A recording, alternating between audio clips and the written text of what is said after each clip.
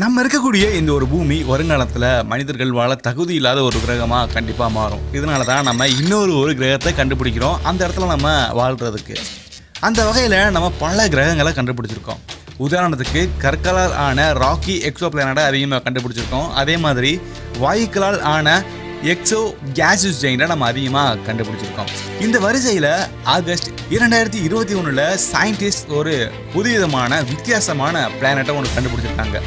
அது என்ன பிளானட் அந்த பிளானட் முழுக்க முழுக்க ஹைட்ரஜனால் அதோடைய அட்மாஸ்பியர் உருவாகியிருக்கு அப்படின்னும் அதை சுற்றி கம்ப்ளீட்டாக கடல் இருக்கிறத சயின்டிஸ்ட் வந்து சொல்கிறாங்க அதுவும் லிக்விட் ஃபார்மேட்டில் இது உண்மையிலேயே ரொம்ப ஆச்சரியத்தை உண்டாக்குது.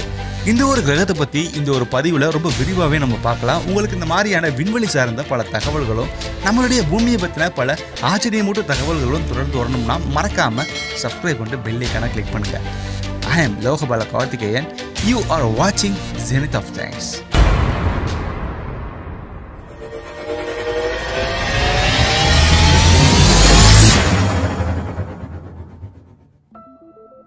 நம்ம எக்கச்சக்கமான எக்ஸோ பிளானட்டை கண்டுபிடிச்சிருக்கோம்.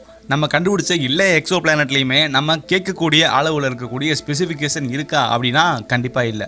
ஏன்னா நமக்கு தெரிஞ்ச வரைக்கும் நம்ம பூமியில் தான் மனிதர்கள் உட்பட பல உயிரினங்கள் வாழ்கிறாங்க மற்ற பிளானட் நம்ம இப்போ வரைக்கும் கண்டுபிடிக்கல. நம்ம ராக்கி பிளானட் அப்படின்னு ஒன்று கண்டுபிடிச்சோம். அதே மாதிரி கேஸஸ் சைன்னு சொல்லக்கூடிய வாயுக்களால் ஆன கிரகங்களையும் கண்டுபிடிச்சோம்.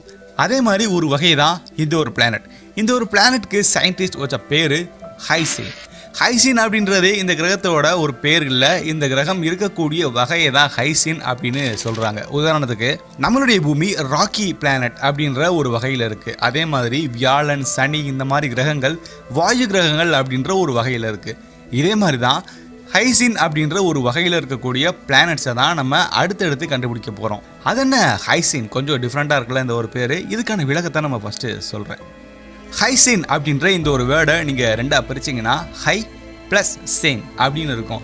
ஹை அப்படின்ற வேர்ட் ஹைட்ரோஜனையும் சின் அப்படின்ற வேர்ட் ஓசன் அப்படின்ற அந்த ஒரு வார்த்தையுமே மென்ஷன் பண்ணுது.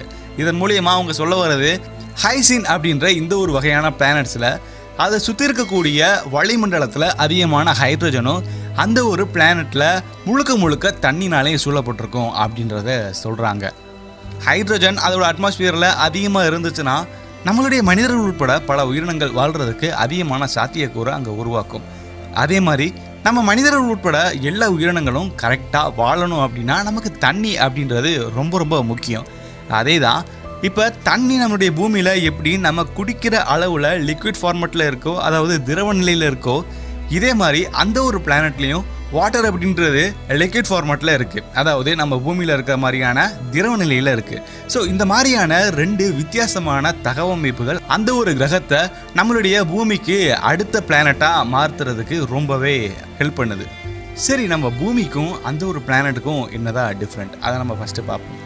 இந்த ஒரு ஏலியன் பிளானட் கிட்டத்தட்ட நம்ம பூமியை விட சுமார் ரெண்டு புள்ளி ஆறு மடங்கு பெருசாக இருக்குது டயாமீட்டரில் அந்த ஒரு பிளானட்டை சுற்றி எக்கச்சக்கமான தண்ணி இருக்குது அதாவது அங்கே நிலத்தை பார்க்குறது கொஞ்சம் கஷ்டன்ற மாதிரி சொல்கிறாங்க பட் இது இப்போ அந்த பிளானட் பற்றின டேட்டாஸ் இன்னும் முழுக்க முழுக்க நமக்கு கிடைக்கல.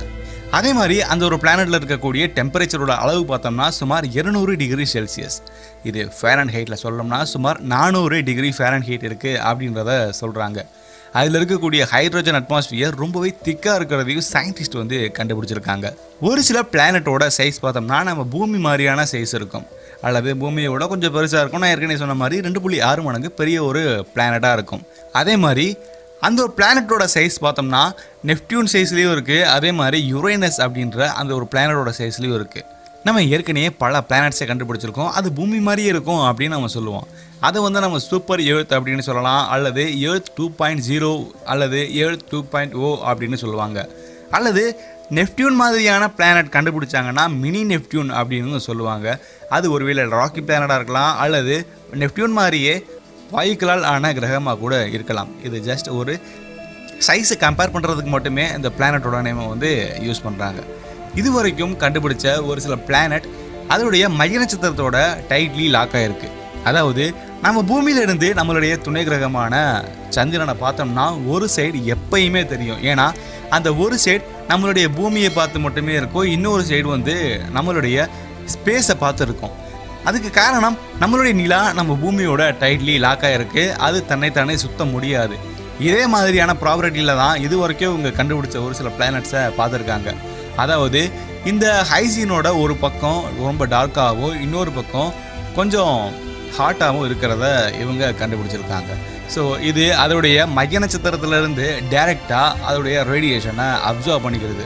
இதோடைய நட்சத்திரம் அப்படின்னு நம்ம பார்க்கும்போது தான் இதோடைய மைய நட்சத்திரம் முழுக்க முழுக்க இப்போ வரைக்கும் இவங்க கண்டுபிடிச்ச அளவில் பார்த்தோம்னா ரெட் டாஃப்ட் ஸ்டாராக தான் இருக்குது அதே மாதிரி அதோடைய மைய நட்சத்திரத்திலேருந்து குறைஞ்சபட்சம் முப்பதுலேருந்து அதிகபட்சம் நூற்றி இருபத்தி அஞ்சு ஒளியாண்டுகள் தாண்டி இந்த மாதிரியான கிரகங்கள் இருக்கும் அப்படின்றத சயின்டிஸ்ட் வந்து ஆணித்தரமாக சொல்கிறாங்க இப்போ நம்ம பார்த்த ஹைசின் அப்படின்ற இந்த ஒரு பட்டியலுக்கு கீழே ஒரு பிளானட்டை கொண்டு வந்திருக்காங்க. அது K two one eight B அதாவது கெப்லர் டூ எயிட்டீன் பி அப்படின்ற ஒரு பிளானட்டை கொண்டு வந்திருக்காங்க.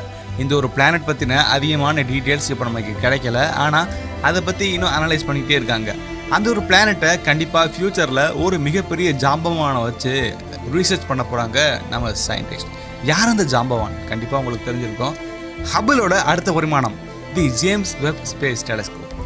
அந்த டெலஸ்கோப்போட அடுத்தடுத்த வேலைகள் அப்படின்றது அதிகமாகிட்டே இருக்குது ஸோ அந்த ஒரு ஜேம்ஸ் வெப் ஸ்பேஸ் டெலஸ்கோப்புக்கு பொறுப்பு வர வர அதிகமாகிட்டே இருக்குது அந்த வகையில் இந்த டெலஸ்கோப் வச்சு இந்த கே டூ எயிட்டீன் பி அப்படின்ற இந்த ஒரு பிளானட்டை அதிகமாக படிக்க போகிறாங்க நம்ம சயின்டிஸ்ட் ஏன்னா நமக்கு தெரிஞ்சு போச்சு ஹைசின் அப்படின்ற ஒரு வகை பிளானட் இருக்குது இந்த வகை பிளானட்டில் நம்மளுடைய பூமியில் இருக்கக்கூடிய எல்லா தகுதிகளும் அங்கே இருக்குது அப்போது கண்டிப்பாக அங்கே உயிரினங்கள் வாழலாம்.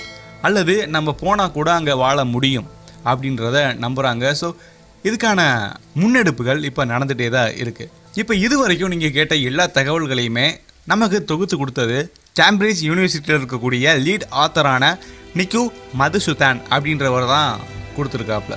இவருடைய கணக்குப்படி இது வரைக்கும் நம்ம கண்டுபிடிச்ச அதாவது நம்ம பார்க்கக்கூடிய நம்ம இருக்கும்னு நினைக்கக்கூடிய அந்த ஹைசின் அப்படின்ற வகையான பிளானட்ஸ் ஹேபிடபிள் ஜோனில் தான் இருக்குது அப்படின்றத சொல்கிறாங்க அந்த ஒவ்வொரு நட்சத்திரத்தோட டிஸ்டன்ஸ் அந்த ஒவ்வொரு நட்சத்திரத்தோட வெளிச்சம் அதோடைய எனர்ஜியை ரிலீஸ் பண்ணுறக்கூடிய இந்த மாதிரியான பல தகவமைப்பை பேஸ் பண்ணி தான் அதோடைய ஹேபிட்டபிள் ஜோன் வந்து மாறிட்டே இருக்குது எப்படி? நம்மளுடைய பூமி நம்ம சூரியன்லேருந்து ஒரு ஆஸ்ட்ரானாமிக்கல் யூனிட்ஸ் தள்ளி இருக்கிறனால இதை நம்ம ஹேபிட்டபிள் ஜோன் அப்படின்னு சொல்கிறோமோ அதே மாதிரி அங்கே இருக்கக்கூடிய பிளானட் ஒரு சில டிஸ்டன்ஸ் வேரியேஷனில் கண்டிப்பாக ஹேபிட்டபிள் ஜோனில் இருக்கும். ஆனால் முழுக்க முழுக்க நம்ம கண்டுபிடிச்ச இந்த வகையான ஹைசின் அப்படின்ற பிளானட்ஸ் வகை ஹேபிடபிள் ஜோனில் மட்டும்தான் இருக்குது அப்படின்றத சொல்கிறாங்க அதனால தான் அங்கே லிக்விட் வாட்டர்னு அவங்க கண்டுபிடிச்சிருக்காங்க. சரி நம்ம பொறுத்திருந்து பார்ப்போம். இந்த மாதிரியான பிளானட்ஸ் நிறைய கண்டுபிடிப்பாங்க. அதை பற்றின பல தகவல்கள் நான் தொடர்ந்து கொடுத்துட்டே இருக்கேன். என்ன ஏதோ?